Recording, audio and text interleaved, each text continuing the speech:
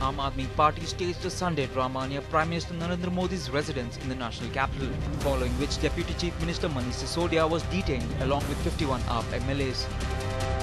जितने करप्शन को कम करने के काम होने हैं, वो सारे बिल रोक के बैठे हुए हैं वो नहीं करेंगे एमएलए को गिरफ्तार करेंगे तो हमने कहा एमएलए को गिरफ्तार कर लो फिर लीजिए सारे गिरफ्तार हो जाते हैं While all the AAP MLAs were released after two and a half hours, their latest drama on the road follows the arrest of AAP MLA in the middle of news conference a day earlier.